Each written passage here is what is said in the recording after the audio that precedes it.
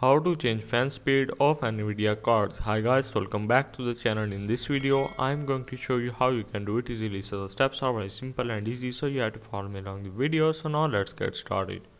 So first of all you have to search for msi Afterburner and you have to install this particular app.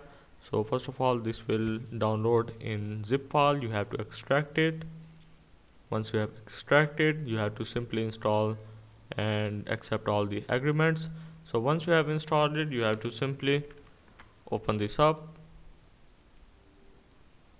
And now as you can see this is how it looks like. So I can adjust the core clock. I can also adjust the fan speed. I can also see the temperature of my GPU and you don't need like particular MSI card. You can do it with any of the graphics card available so yeah that's how basically you will change fan speed of nvidia graphics card